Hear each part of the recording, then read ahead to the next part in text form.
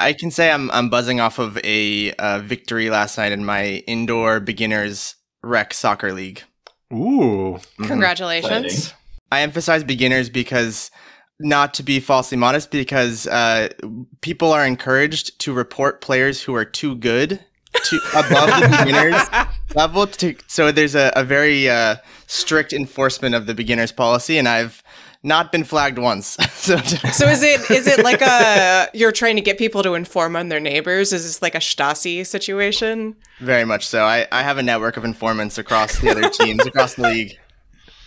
I like to envision this as an adult version of my favorite activity to watch on weekends here in DC, which is uh, toddler soccer, uh, which involves a bunch of three year olds with their arms perfectly vertical at their sides, held out flat, even when running full speed and running and just flailing at a ball that none of them land on, just legs akimbo until one of them takes a hit to the shins and then inevitably falls over. Uh, maybe slightly more stylish than that, but that in my That's, dream that's what it's like in what this looks Tyler's like. league too. Yeah. Exactly. Yeah, I was like, this, exactly. you're not supposed to do that? Or I will say the last team sport I participated in uh, was in DC. And this is like more than a decade ago now. Sadly, I was in DC. I was in a bocce league, and our team name, which I will claim, was Pétanque-a-Donk, which I thought was a pretty good, pretty good team name. And I was quite Oh, proud of at the good. time. I thought that was pretty good. I'm can we be the proud of that still. Pétanque-a-Donk edition? The Pétanque-a-Donk edition? Maybe actually, yeah, I like that. I like that.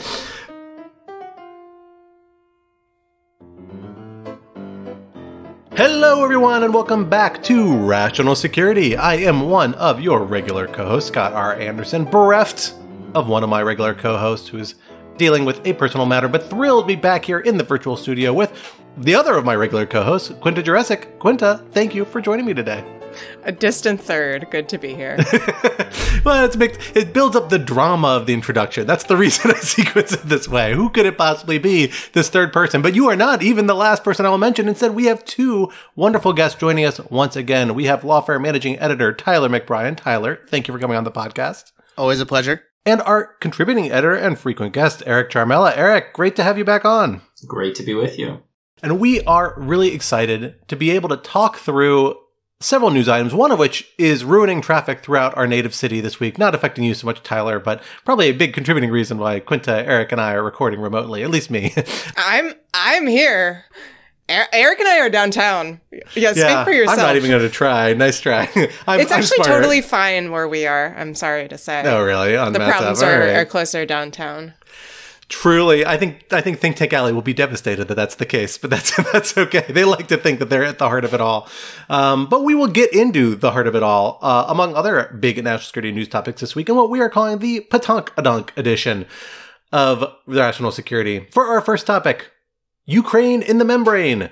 NATO is hosting its 75th anniversary summit here in Washington, D.C. this week, shutting down traffic left and right. But its members' eyes are uniformly locked on Ukraine, whose eventual membership several will voice support for this week, even as others worry about what a future Trump administration might mean for the alliance and its commitment to the ongoing conflict there. What trajectory is NATO headed on, and what should the alliance be doing to prepare? Topic 2 So gauche.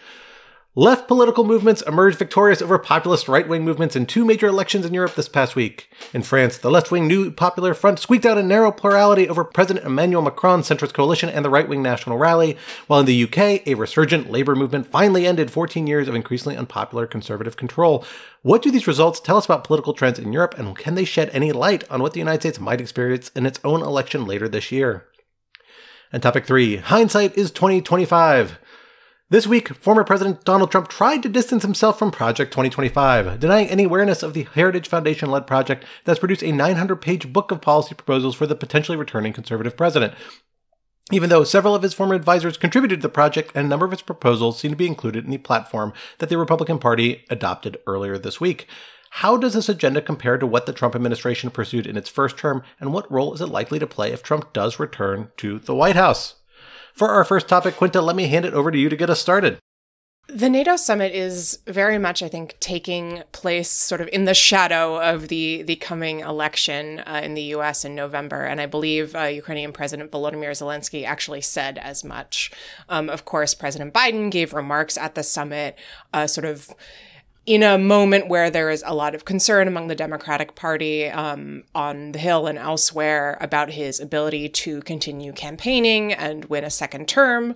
Trump, meanwhile, has, I think, walked this back somewhat recently, but has been quite consistent um, about his desire to damage the alliance in some way or another, um, possibly by drawing the United States out of it entirely. Um, so I there there are some tensions happening right now in in downtown DC. Um, there are also tensions around whether or not Ukraine will at some point be able to join the alliance. Um, so Eric, I wonder if I can turn it to you sort of first for your general read on what the vibe is.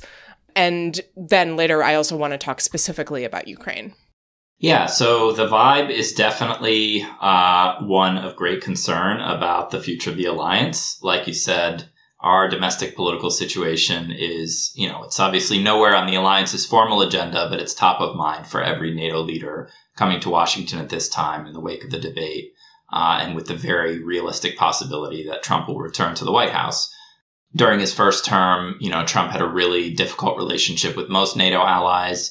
He sort of took the longstanding view of other American presidents that everyone needed to sort of pay their fair share. This was codified under President Obama um, at the Wales Summit in 2014, where there was a pledge by all allies to spend 2% of their GDP on defense.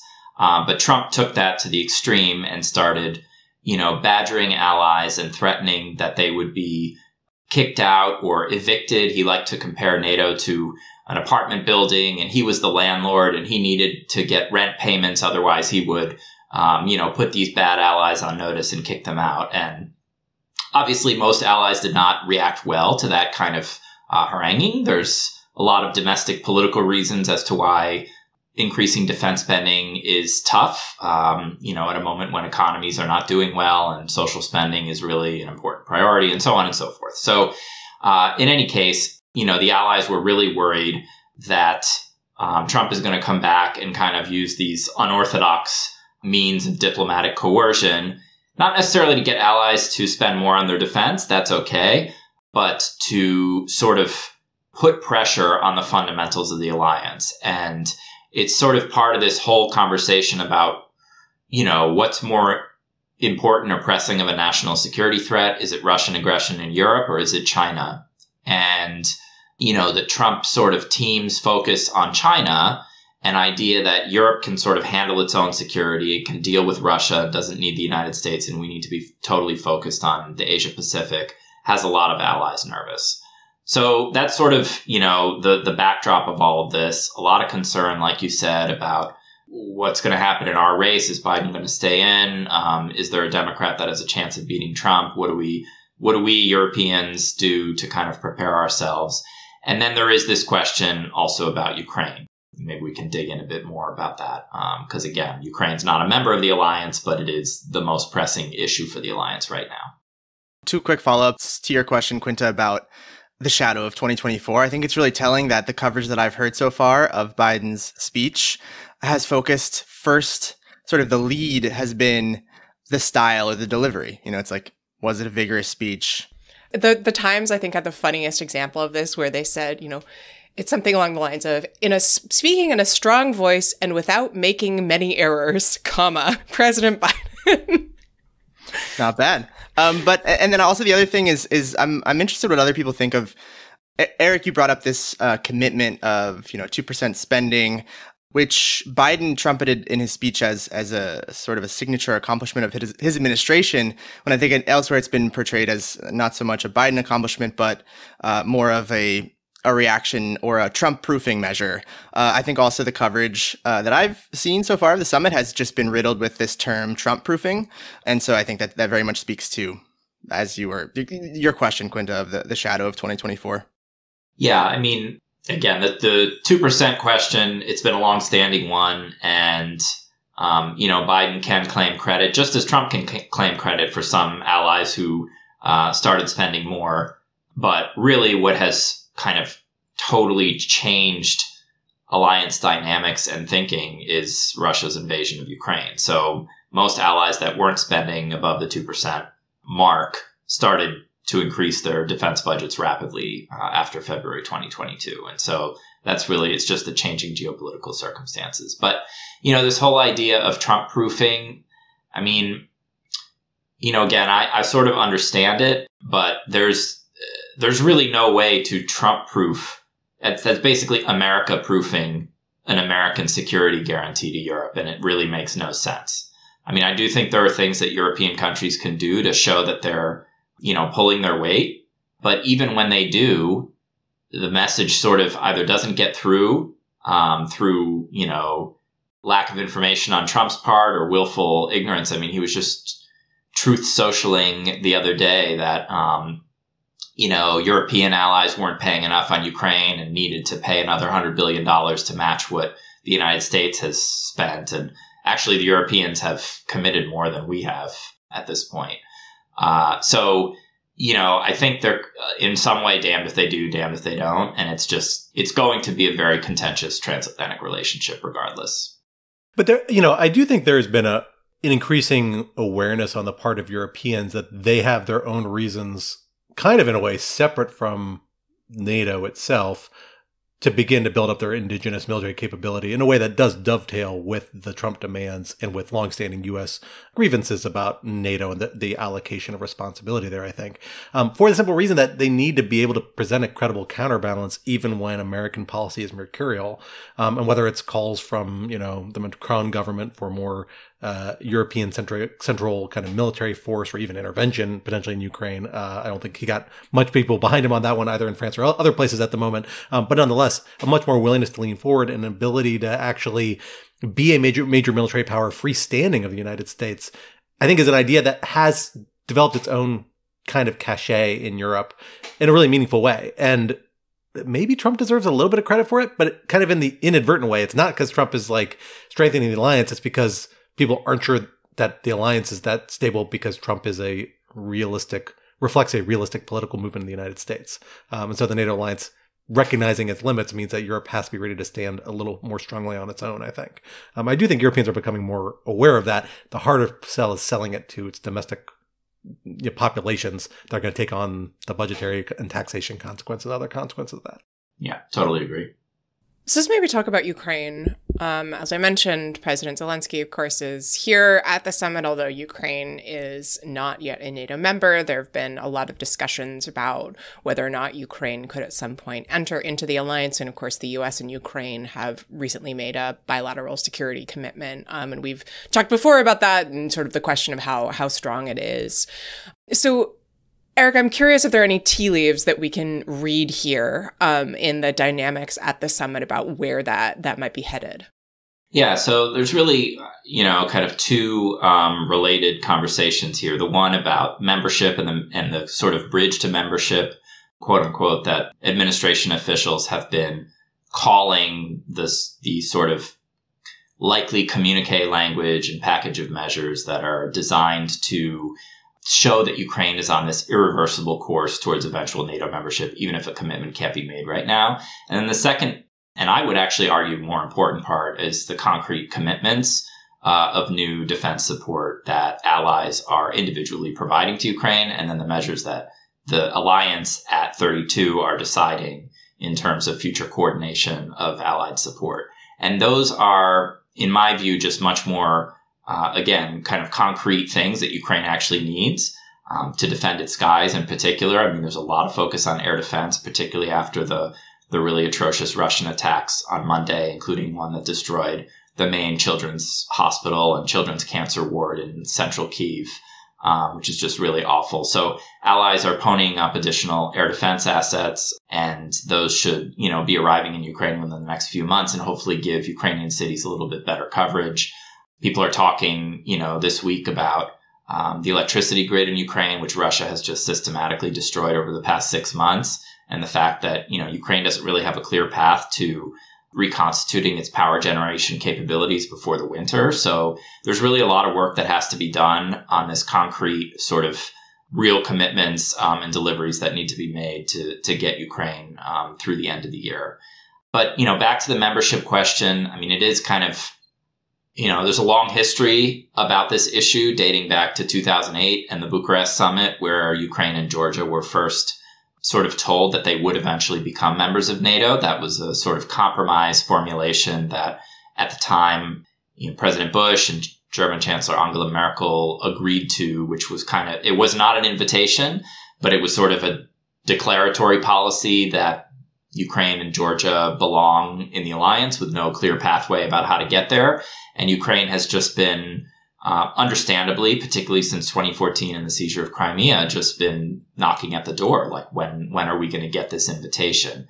The issue is that right now, you know, there's a full scale war uh, with nuclear armed Russia, and it's impossible to imagine how the United States can extend a security guarantee to a country at war that doesn't have defensible borders. And so, you know, we've seen this kind of debate about NATO membership, you know, divide allies you know, the Poles, the Baltic states, you know, some of the Nordics, the Brits kind of think that an invitation at this point, you know, it's not a conveyor belt and it's a it's a strong enough political signal that needs to be sent to Putin now that, you know, his his plan to uh, resubordinate Ukraine uh, has totally failed, and Ukraine will definitely be in NATO one day, even if we can't solve it now. And on the other side of the fence, there are those who say definitely don't issue an invitation and beyond that, you know, Ukraine should probably never become a member of NATO, period. And you saw that reflected in the letter that was signed by 60 or so American academics, um, including some of my colleagues at Carnegie, not myself, um, that Ukraine, uh, you know, should never be a member of NATO because it's not in the American security interest uh, to provide a, a guarantee.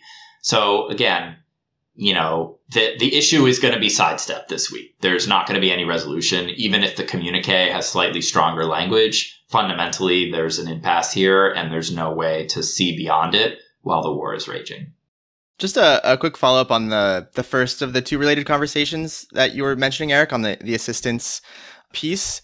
At the risk of dipping too much into the next topic, I was reading a bit about the incoming foreign and defense secretaries in the UK Labour government and uh, because I think there's this um, stereotype or or idea or history of social democrats, you know, across Europe, de-emphasizing military spending, defense spending in favor of social spending. But I think anyone hoping for greater commitments to Ukraine would be heartened by the incoming foreign and defense secretaries because they've both been vocal supporters of support to Ukraine. And, and I was interested in reading that John Healey, the defense secretary, his first trip uh, outside of the UK within 48 hours of being appointed was to Ukraine, uh, which I think you know is probably seen as a positive sign uh, to Ukrainians and, and and their supporters. And I think that's a, a, kind of notable, like broader trend we're seeing in Europe generally. Like you've seen the left, which I think historically has been for more domestic policy reasons, painting with a very broad brush, but like more willing to lean into the American security umbrella to be able to shift emphasis towards things like you know, a welfare state and various other benefits that Europeans enjoy uh, and are fairly popular in a lot of European countries. Now we see the left, in large part because of the war in Ukraine, become much more willing to engage and to prioritize military spending, military engagement. I mean, Olaf Scholz in Germany being you know a leading example of this, right? Like little a little uncertainty early on, uh, as you know he came into office uh, right relatively shortly before the Ukraine conflict bro- broke out, um, but has been a pretty strong booster and leaning forward in a lot of ways. Some limitations, some reservations, but nonetheless pushing both Germany to kind of re-engage in a level that in a ways that we haven't seen Germany do before in Europe more broadly. Emmanuel Macron, not a person on the left, but a, a centrist person that uh, has elements of the left platform that he's kind of borrowed and co-opted into his kind of centrist coalition. Similar sort of vein. Again, like a very lean forward guy to the extent he stays in power in France much longer uh, in a meaningful way.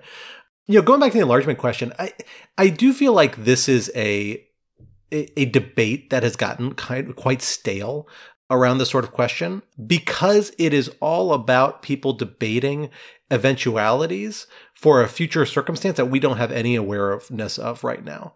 And, and it's part of the reason I, I, find it somewhat frustrating that we keep seeing these letters come up saying that we should rule out these sort of outcomes in the future in one way or the other. Um, like I do not think it would be wise for NATO to commit to uh, hard to Ukraine being in invited into NATO in the future for a variety of reasons, among other reasons that you're, frankly, Ukraine has a lot of domestic reforms it needs to pursue, a lot of open political questions that you would want to be resolved before you invite them into a consensus based, uni- unanimity based alliance. You know, we look at certain other members of the NATO alliance and how troublesome they've been, like Turkey, because their commitments to democratic norms and other sort of values are very different from other members that could be the case with the future Ukraine, which has wrestled with those issues in other contexts. I hope it isn't, but it certainly could be.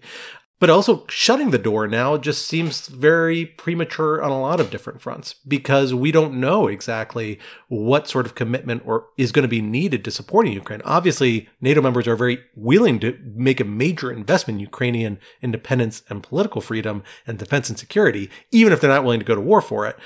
And the deterrent effect of an alliance could be a major toolkit of that, and a way to do that, frankly, somewhat more affordably, more more cheaply. And just because a country is not willing to jump in and go to war for Ukraine now doesn't mean that they may not be willing to commit to do so in a future scenario.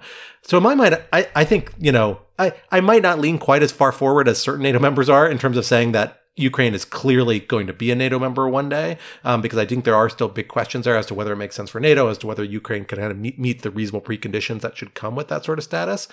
But keeping an avenue open, keeping discussions open, and finding ways to build up security cooperation that parallel NATO as an interim measure strikes me as very commonsensical. And, you know, using this broader debate over eventual membership as a way to kind of dig at that argument strikes me as more as an attention grab than anything else that I, I don't think is particularly productive.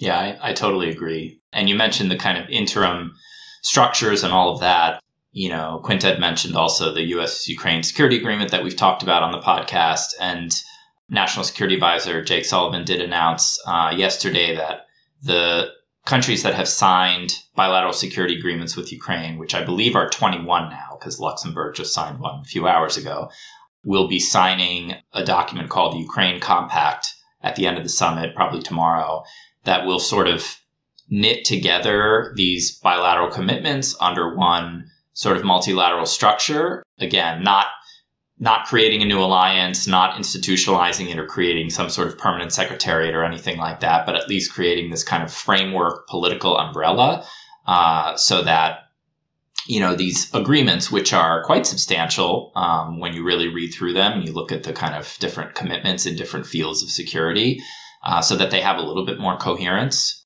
and a bit more of a governance framework. So I would say we're kind of, you know, this week is is moving the ball forward a little bit, inch by inch, on these interim arrangements. And again, I think working with what we have now and focusing on kind of concrete support and really helping Ukraine get through the, what's going to be a very difficult next six to nine months, I think it should be more of the focus rather than debating you know, like Scott was saying, these future hypothetical scenarios that no one can envision right now, and just sort of grabbing attention um, because you want your name in the news.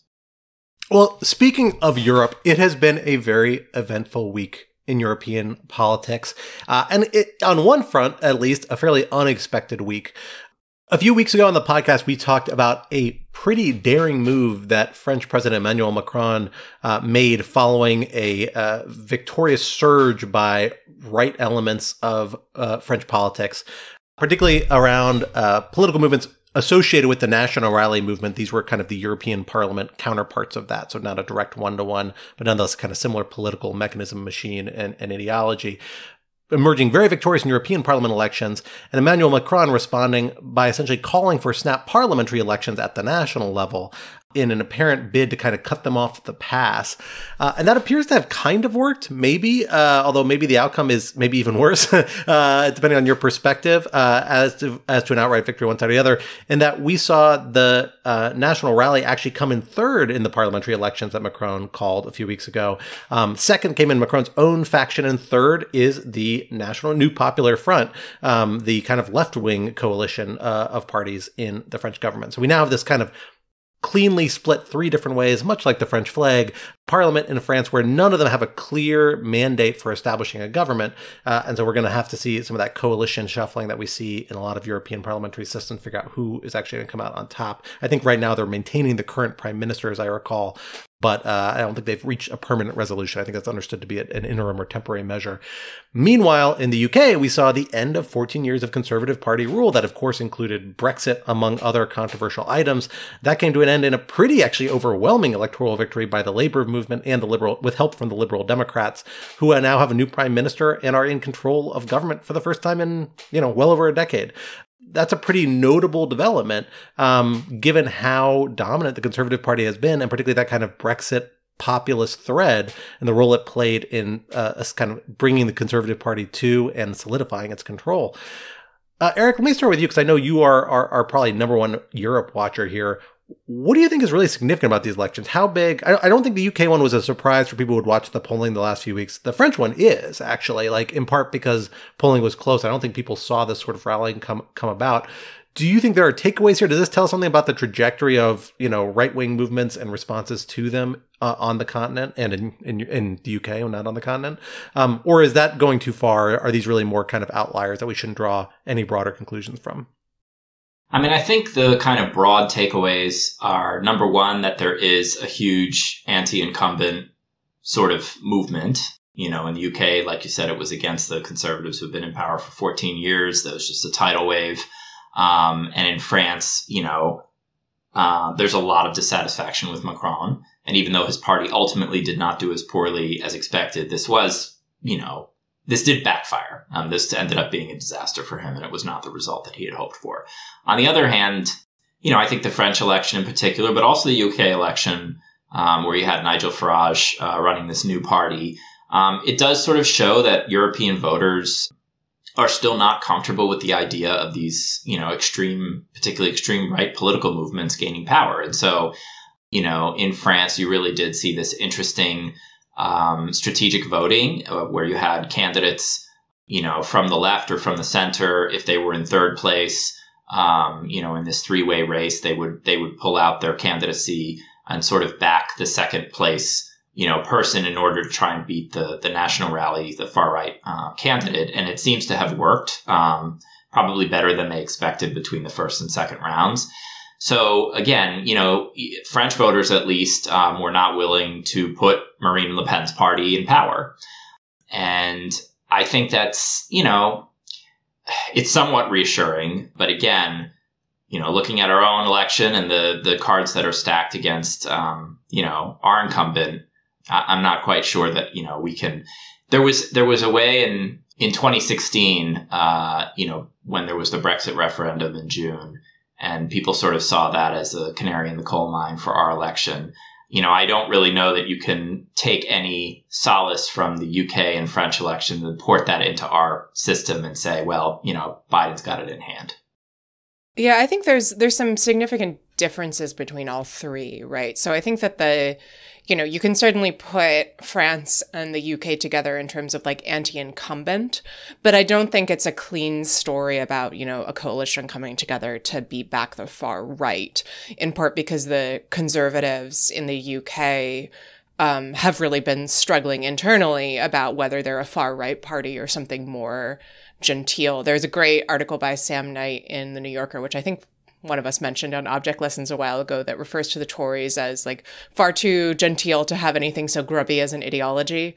And I do think that one of the things that you really see in the exit polling and polling of people who voted for the Tories versus people who voted for Reform, which is Nigel Farage's party, is that there's a real defined split between Tory voters and Reform voters. And Reform voters are much more in line with the kind of like global far right, Marine Le Pen, Trump bloc.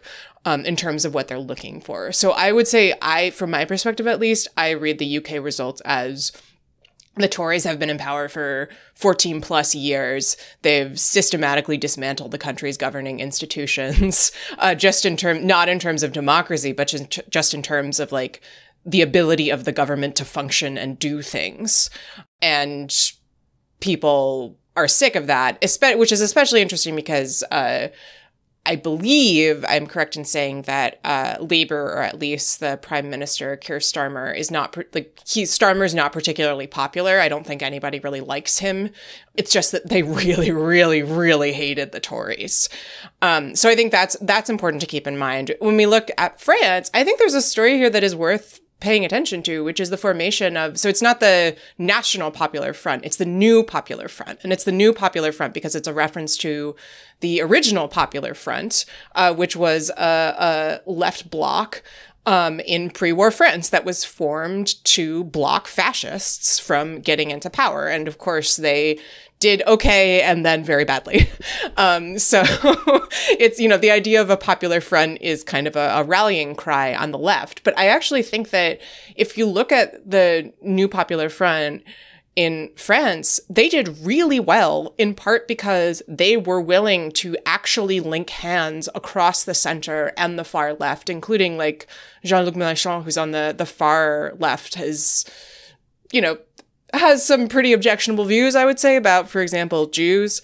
But there is a, a real willingness to kind of link hands and work together to stop National Rally from getting into power, including by, you know, this sort of strategic dropping out of candidates. So if there was a, an instance where it seemed like a block of votes will go to National Rally if votes were split between a range of different other candidates, there was a sort of coordination on who would drop out, including uh, with the uh, Macron's party as well.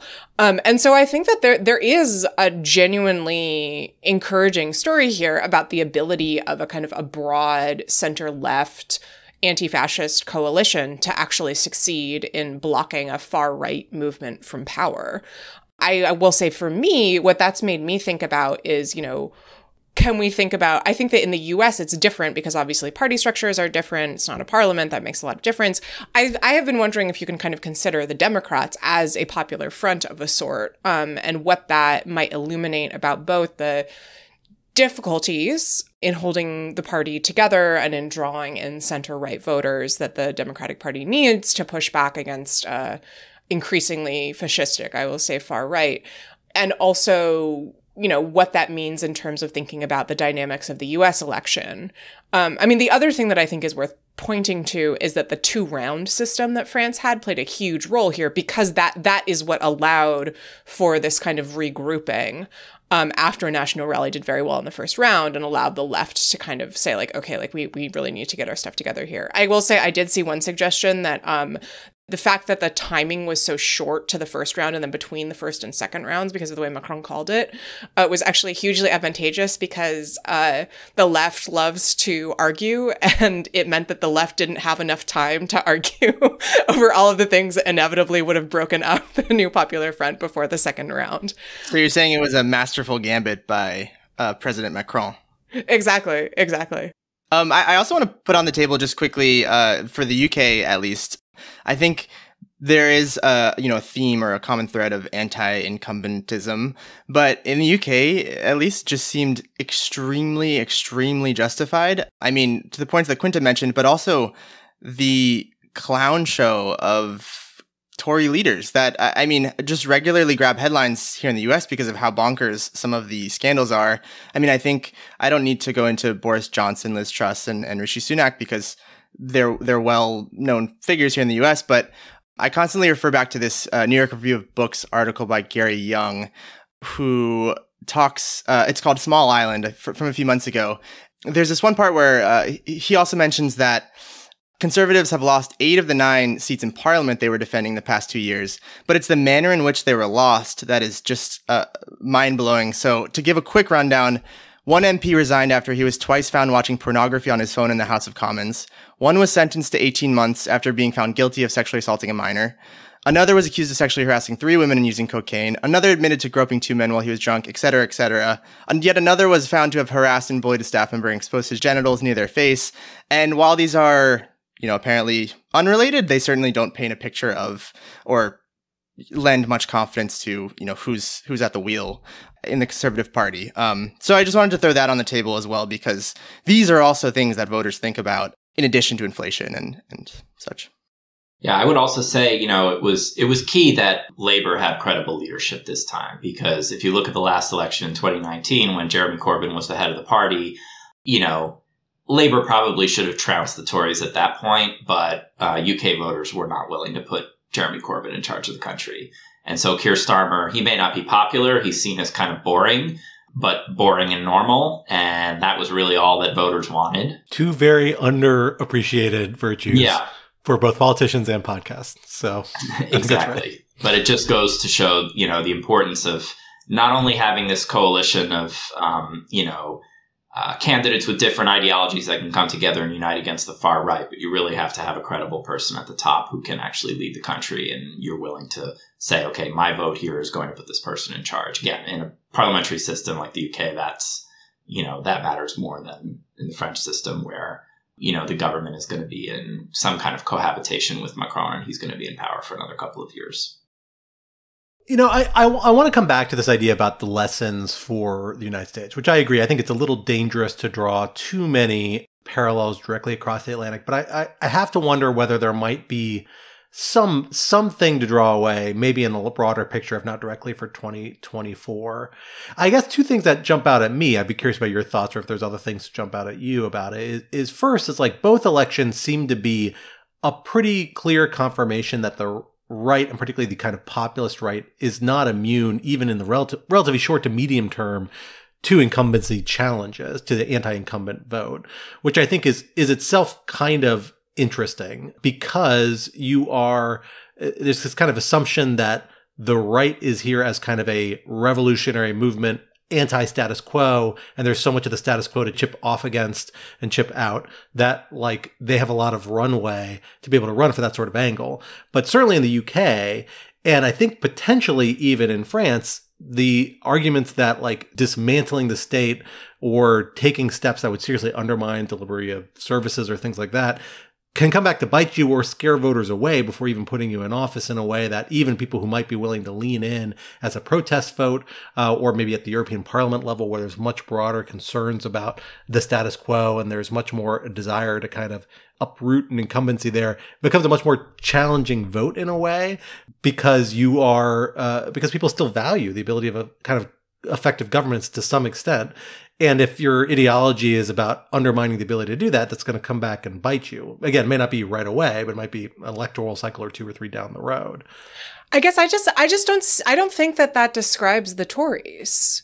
I don't think like the Tories the Tories are a well, since 2008 have been engaged in a systematic process of stripping the British government for parts as as an austerity measure.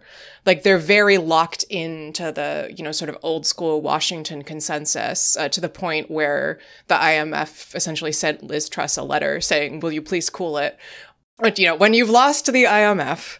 Uh, but so th- they are certainly a they're a conservative party and they are a a party that was very committed to a sort of neoliberal economics that I think has fallen out of fashion broadly on both the left and the right, but I do not think in any sense they were a radical party. Farage represents a radical party. And I do think that the, you know, David Cameron's misread of his own party's dynamic and the dynamic in the country led to, uh, you know, a victory for the sort of radical fringe in the form of Brexit.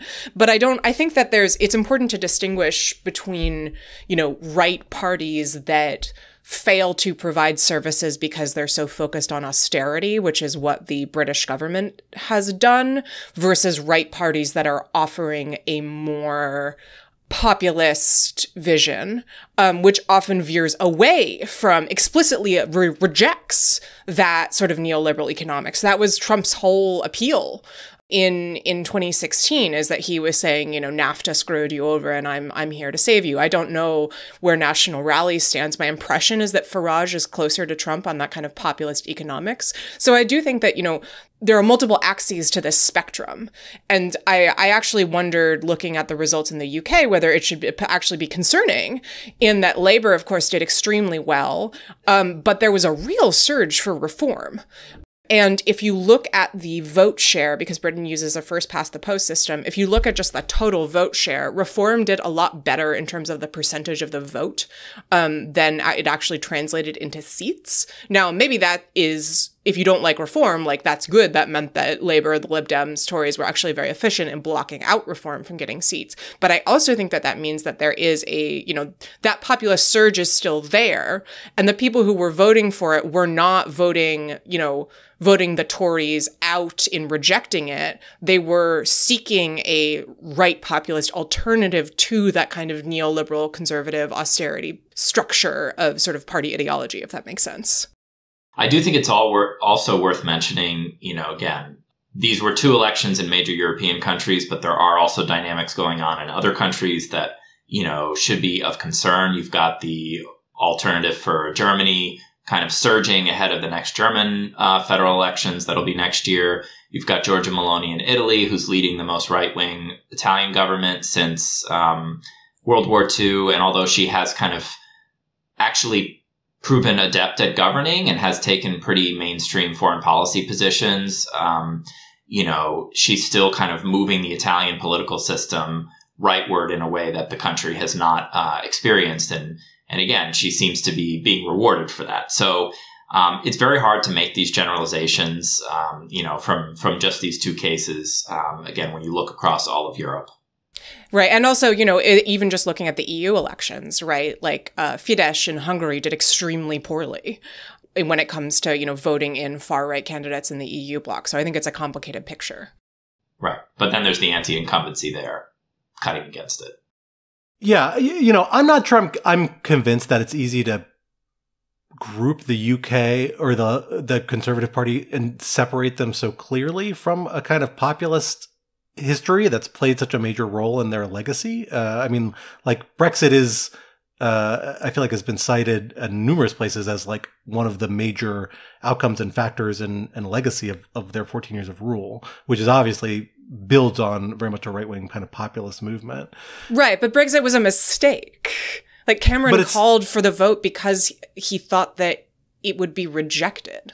But I mean, it's still like something that's been followed through on by conservative government and was a policy priority that they helped implement and support, in part as a you know riding on the backs of a kind of populist right wing surge. I mean, I I don't know. I I don't disagree with what you're saying. Like, there's different dynamics here, but I think that I'm not sure it's easy to divide so easily. You know, the right into these camps of like there's still the neoliberal and then there's the populist right. Even in the Trump case, right? Because we did see Trump embrace all sorts of neoliberal, what might have been described neoliberal policies, whether it's like massive tax cuts and other items that are very much part of its legacy, part of its platform still. Like it's the awkwardness of knitting those things together that, if anything, is that I think is like an indicator of a lot of right wing political coalitions now. Not that they can fit very easily into one camp or the other, but there is this knitting together in like kind of a weird way that I do think there's some parallels there.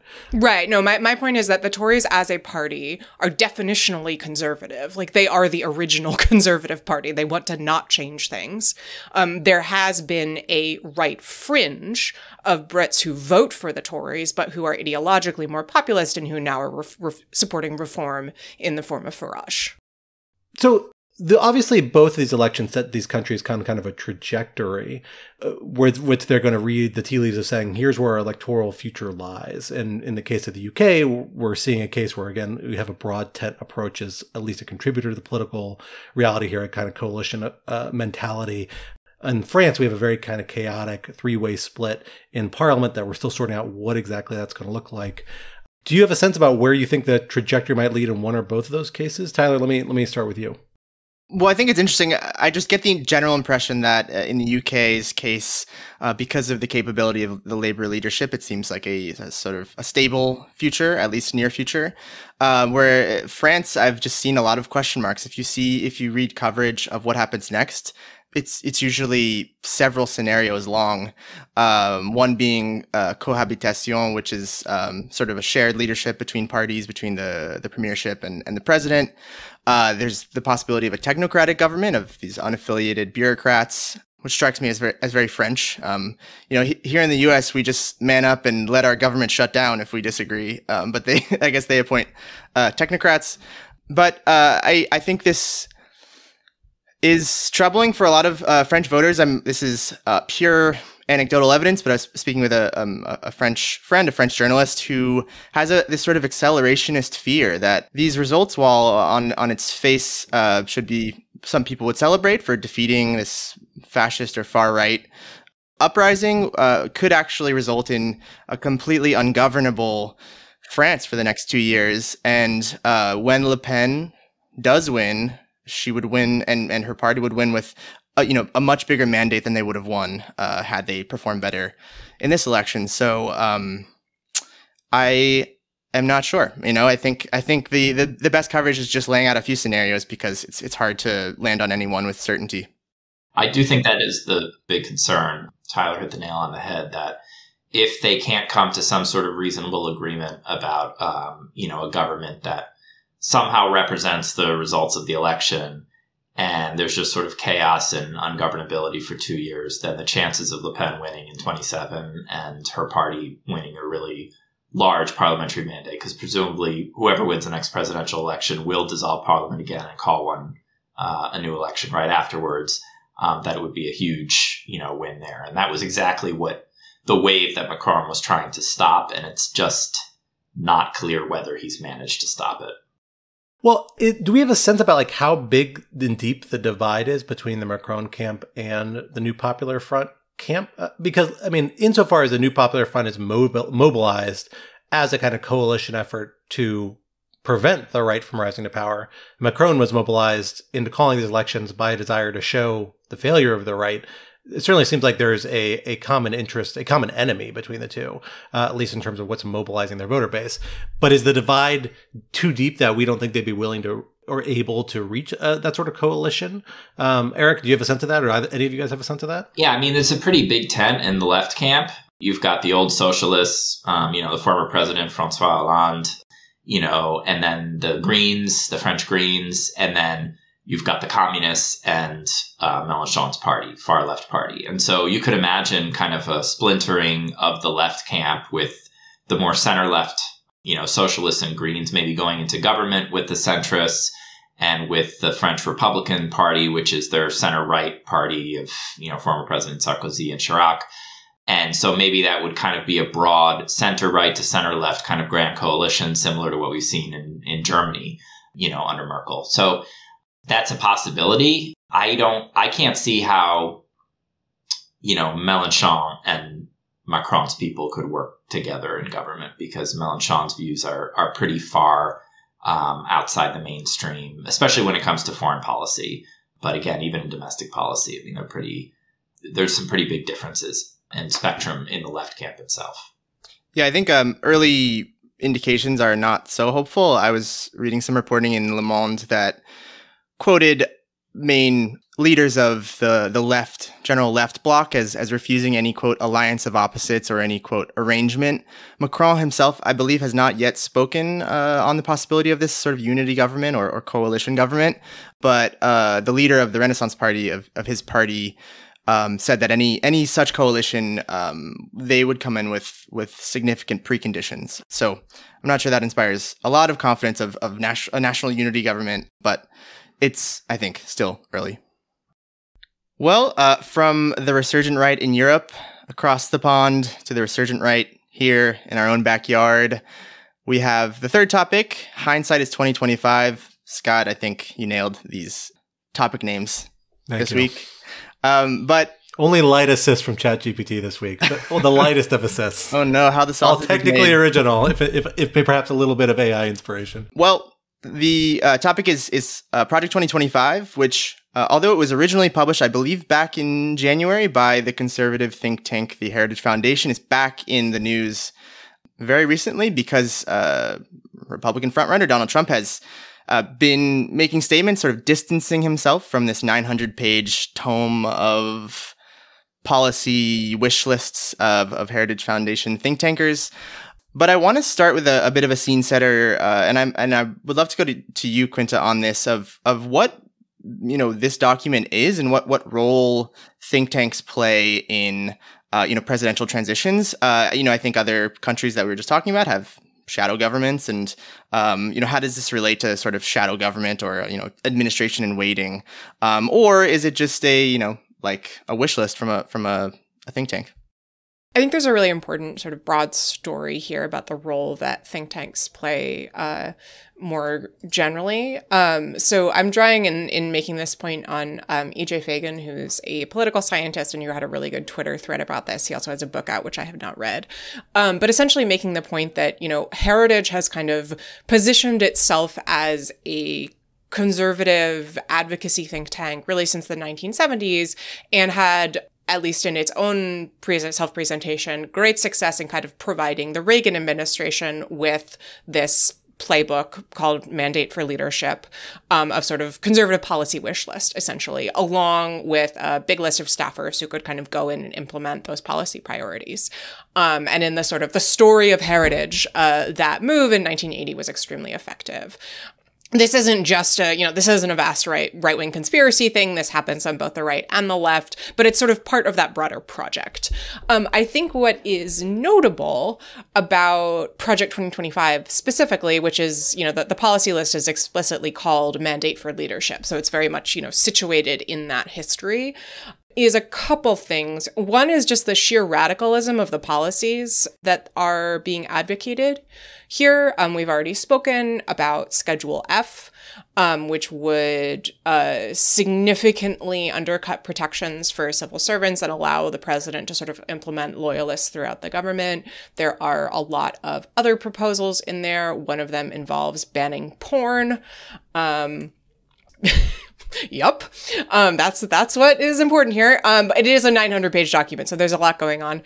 But it, the, so the radicalism of the document, and then also the extent to which I think heritage is really trying to write on a blank slate here. I think there's a sense that the first Trump administration was kind of hobbled by a lack of vision, a lack of a clear agenda because Trump came in sort of unexpectedly and there's an effort to kind of set this out and then, you know, provide people who can go in on the first day and really go ahead and implement.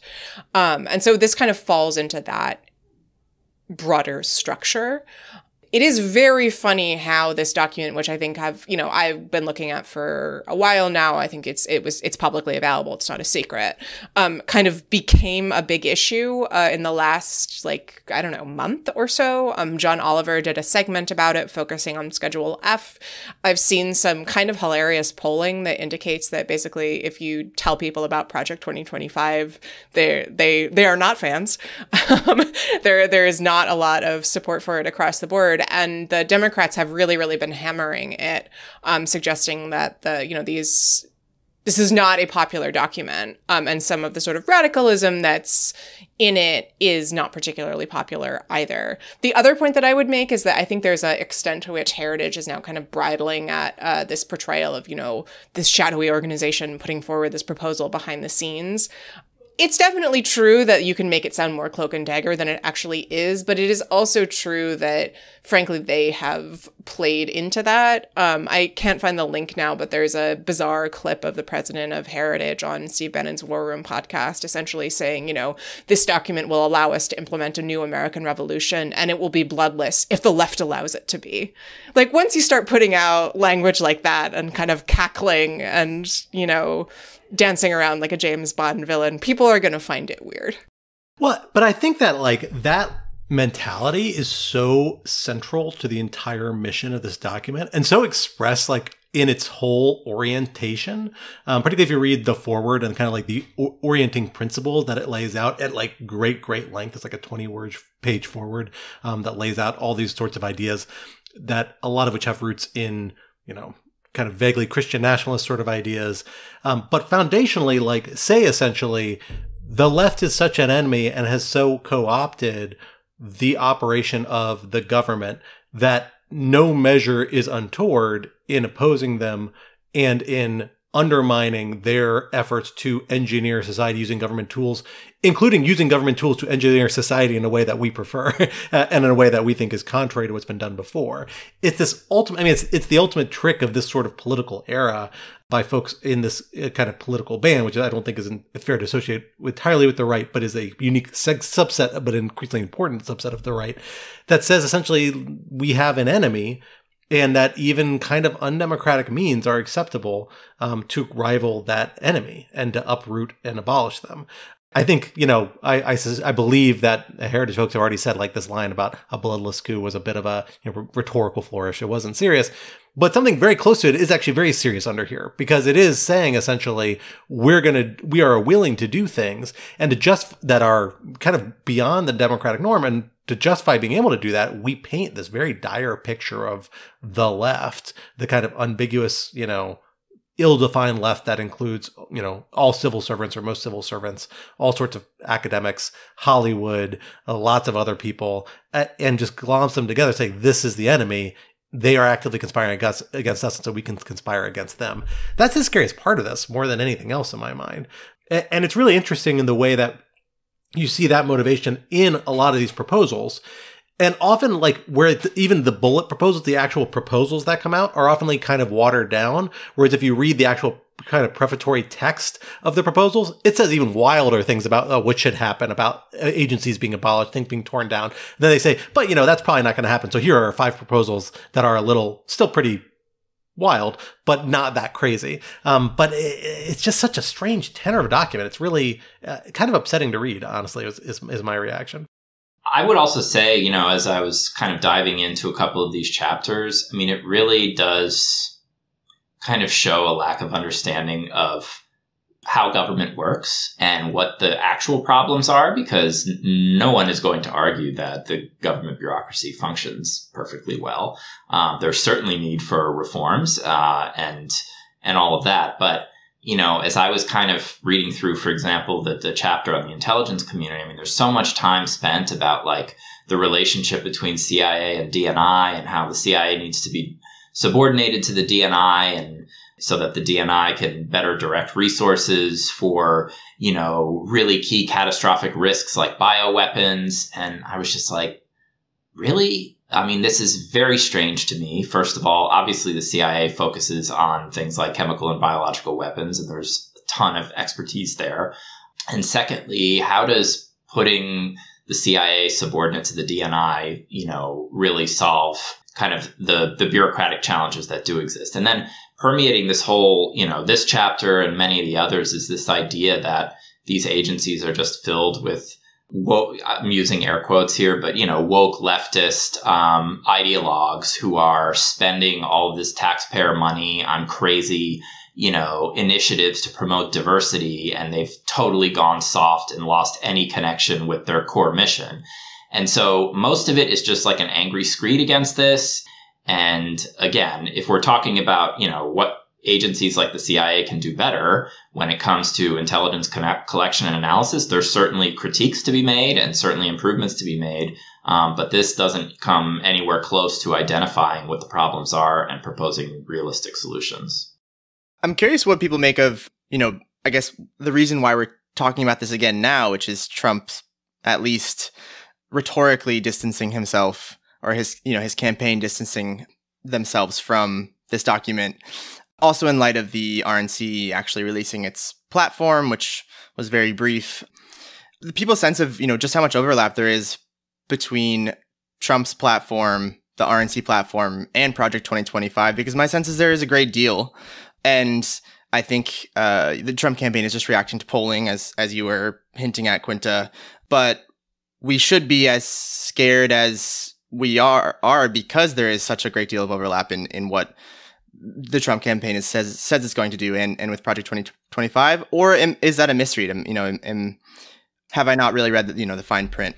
I think that the no, I think that the dynamic here is important to put together, as you say, with the uh, the sort of hollowing out of the RNC platform, in the sense that what this indicates more broadly is the sort of extent to which the Republican Party institutionally has been subsumed by Trump individually, and what I mean by that is that, you know there is not a platform outside of Trump. The platform, I'm vastly oversimplifying here, is, you know, Trump 2024, MAGA, exclamation mark, exclamation mark.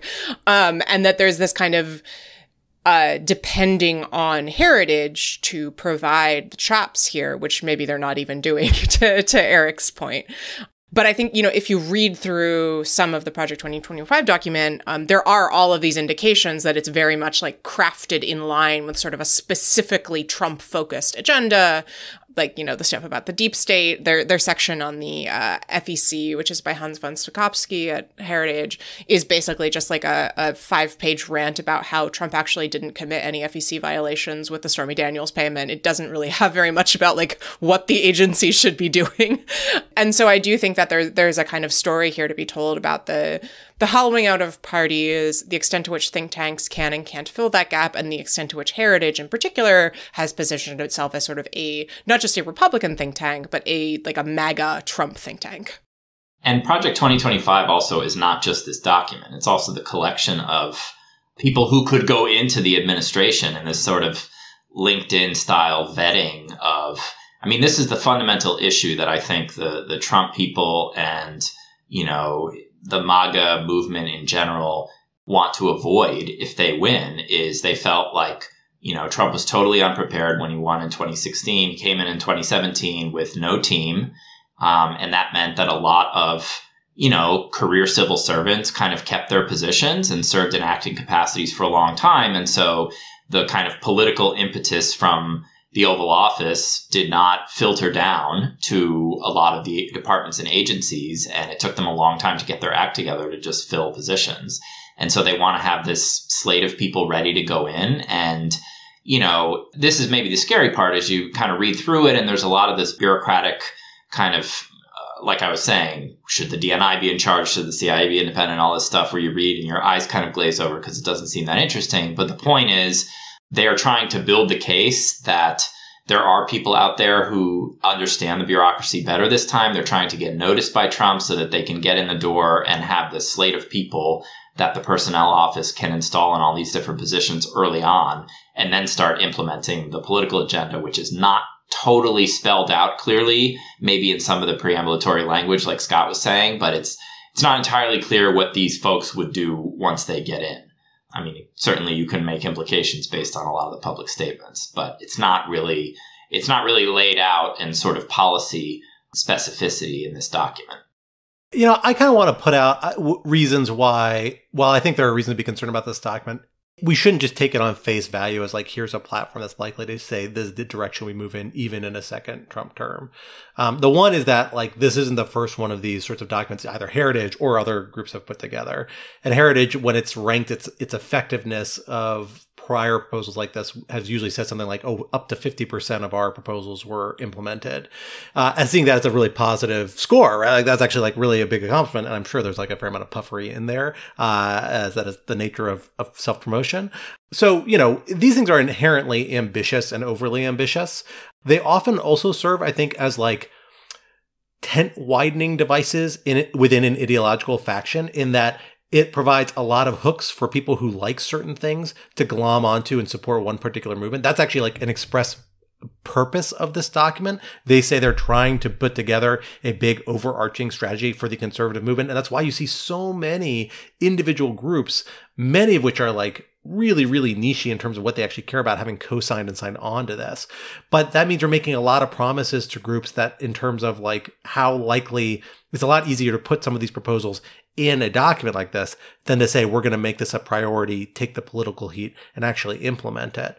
And then you also just have the basic realities of governing, which is that like presidential administrations have very limited bandwidth, more so than I think people appreciate to proactively implement things. I think the Trump administration, the prior term, had a particularly limited bandwidth. And part of that was because of the people that are around Trump. But frankly, Trump had a very experienced, competent team that was there to advise him early on in his first term many of whom he later removed. It, a lot of it just came down to the weird personality and idiosyncratic dynamics, I think, of the Trump White House that I'm not sure will necessarily change, even if it is a much more kind of like minded set that comes in on day one.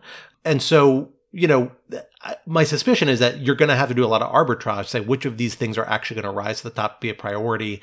And the administration is going to do it kind of sequentially and, and, and, and carefully over time because doing all these things at once is going to be a lot of political heat on them because many of them are controversial. And they are particularly going to be doing a lot of other controversial things early if President Trump is elected, like ending the criminal investigations against him. So I think those things are much more likely to take priority and eat up a lot of the political capital in the early days of the administration, a lot of the focus. And other things like this may well happen. Like I think they should be taken seriously, but are likely to kind of fall down the priority list, maybe be watered down, made things more politically palatable.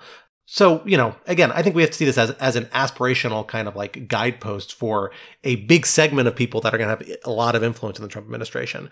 That's not the same as a copy and paste sort of document. And that's even setting aside the fact that I think a lot of stuff in here is not even legally viable and would, that's the advice that the Trump administration is going to get from lawyers when they actually talk to them about this. Um, and, and that's going to really enter into the calculus of what they actually implement, I suspect. But we will, we'll have to wait and see. Well, folks, that is all the time we have together for this week, but this would not be rational security if we did not leave you with some object lessons to ponder over in the week to come until we are back in your pod catchers. Quinta, what do you have to lighten the mood for us this week? Well, I think you setting, probably setting don't perhaps want, unrealistic expectations. I was going to say, I think you probably don't want me to talk about how Alice Munro's stepdaughter published an article saying Oh that God. Munro had turned her back on her after the stepfather abused her. Talk about talk about regrettable object lessons. I was I wasn't actually going to mention that, uh, but then you you set me up so well. No, um, I have been reading a novel. It is by James McBride called The Heaven and Earth Grocery Store, and I believe it won a bunch of awards, and everyone has probably read it already. But I would just like to say. It is excellent. I think the cover flap made it sound a lot like, you know, uh, a quirky, diverse community comes together against adversity, which is a kind of book that I usually hate. But it is not that. Um, it's a really sort of detailed, textured portrait of a mixed black and Jewish and immigrant community in the 1920s and 30s in Pennsylvania, um, and a number of sort of terrible tragedies that occur and how people respond, and is just really. I think I feel like I always say this. It's really well written. Um, McBride is an incredible writer. I think there's a lot here that reminded me of his last novel, uh, Deacon King Kong. He also wrote the incredible The Good Lord Bird, which is about uh, John Brown. Um, so highly recommend this if you have liked any of James McBride's other work or if you are looking for a, a yarn to distract you on these hot summer days. Well, for my object lesson uh, this week, uh, I thought I would flag uh, that you know we had a notable death. Actually, I guess a little more than a week ago because I went on last week, and that's Robert Towne, the screenwriter of the movie Chinatown, who died just days, I think, after the 50th anniversary of the release of the movie, if I'm recalling correctly.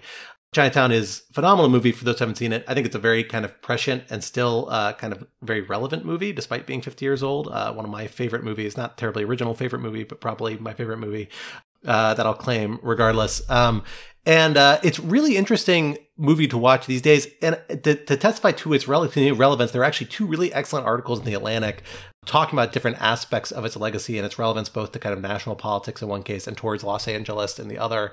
I thought I would flag. This, the one is the 1970s movie that explains 2020's America by Ronald Brownstein, um, and the other is The Lies Los Angeles was built on, built upon, excuse me, by Chris Stanton. Both really phenomenal, really interesting reads for a phenomenally interesting movie. And I'll just say, uh, this was all written actually just days before Towne died, presumably I think in alignment with the 50th anniversary. Uh, but this coincided with news that the long debated David Fincher Netflix project, which was going to be a bunch of prequels to Chinatown, kind of fleshing out the history of the character, the main character, uh, evidently is kind of on hold. Robert Towne said he finished all the screenwriting, but uh, David Fincher wants to do something with uh, Squid Games, uh, I guess, before he can turn back to this. I don't know what exactly, which I find infuriating and like one of the most depressing stories about a stalled project I've ever seen. So hopefully, perhaps Mr. Towne's uh, sad demise will drive Mr. Fincher to restore that project and start moving on it, because that's something I would tune in to see. Taylor, not Taylor, Tyler, what do you have for us this week? Sorry. Uh, no, no problem. Um, I have something that uh, when I saw it on my timeline made me gasp, uh, which was um, the if you're familiar with the DC influencer named Tony P. Um, he is a, a 25 year old consultant. I think he has since left that job. Uh, a notorious bachelor, as he calls himself, uh, who is known for his radical earnestness and um, just very pleasant demeanor. He was uh, in a promotional video for NATO. Um, so uh, this shocked me so much, and I had so many questions. And sure enough, the Washingtonian delivered uh, with a with a short a short piece. Uh, it's a short backstory of how this came to be. Uh, but the best part about this this little strange nugget of DC influencer lore is that apparently when NATO approached uh, Tony P's agent, Tony P's response was, "quote When my agent first said NATO, I thought it was Shark NATO," and I'll just leave it there. That would have been a segment title. God damn it! Where was that? oh, saving the best today. for last. uh, I will say I had no idea who this guy was till uh, somebody started talking about him on the Office Slack the other day, and I googled him, and I did not realize he called his brand vibrant masculinity, or at least that's what's described in like a GQ interview, which I distrust automatically. That does not sound great. I think it actually is more positive than I thought because it's kind of a response to the toxic masculinity. Online. Right. Yeah. Maybe, There's maybe some gender like, theory happening there. Yeah. And, but I still don't love the way really masculinity in general. Maybe we can just let go. That's yeah. like a, a, theme that we want to evoke. Um, but seems like a perfectly nice young man. Uh, but I was I was struck by that. Yeah, I also had a, a similar version to that phrase. But if you, I, there's a great Washington uh, Washington Post profile of him. He has quite a touching backstory and uh, this you know working class upbringing outside of Boston. And uh, once I learned more about him, I started to be, he found him more endearing. Sounds like somebody's angling for a guest appearance. Tony P, reach out to us. We'll put you in touch with Tyler M. You guys can, hatch it out uh, on the next video. We'll co-post it here on Lawfare. Uh, Eric, what what what influencer do you have to share with us today? well, um, it, my influencer is uh, maybe a group of influencers, uh, hundreds, if not thousands, uh, in one of our newest NATO allies, Finland. I don't know if listeners are aware of the Finnish hobby horse um, national championships and the national sport of hobby horse riding, which has become extremely popular. Um, hobby horses being, you know, the plush horse heads on a stick, which uh, young Finns ride around and do dressage and other equestrian, you know, jumps and whatnot on their hobby horses and take it very, very seriously. And it has become somewhat of a national pastime in Finland. Uh, so it's that is a fun way to spend your time if you'd like to go down some rabbit holes on YouTube and watch uh, a bunch of Finnish kids jumping around on horses on sticks. Is this because it gets really cold and dark there, and they need something to do, like in those those cold winter it, it, it might be. It might be. You know, necessity is the mother of invention. So I, I'm not sure. I don't actually know the origin of this. This seems to run counter to the cultural obsession with saunas, which is my favorite Finnish uh, inclination, uh, to the point that evidently, like, so Finnish soldiers when they deployed to Afghanistan, already a fairly hot and dry places, and parts of it at least during much of the year, brought saunas with them into the field, uh, which is amazing. But I feel like that'd be a fire hazard between hobby houses, hobby horses, and saunas. But maybe they fireproof them somehow. hopefully, true. yeah. Well, folks, that brings us to the end of this week's episode, but Rational Security is, of course, a production of Lawfare. So be sure to visit us at lawfaremedia.org for our show page, for links to past episodes, for our written work and the written work of other Lawfare contributors, and for information on Lawfare's other phenomenal podcast series. While you're at it, be sure to follow us on Twitter at RATL Security and be sure to leave a rating or review wherever you might be listening and sign up to become a material supporter of Lawfare on Patreon for an ad-free version of this podcast and other special benefits. For more information, visit lawfaremedia.org slash support. Our audio engineer and producer this week was Noam Osband of Goat Rodeo, and our music, as always, was performed by Sophia Yan, and we are once again edited by the wonderful Jen Patja. On behalf of my co-hosts Quinta and our special guests Tyler and Eric, I am Scott R. Anderson, and we will talk to you next week. Until then, goodbye.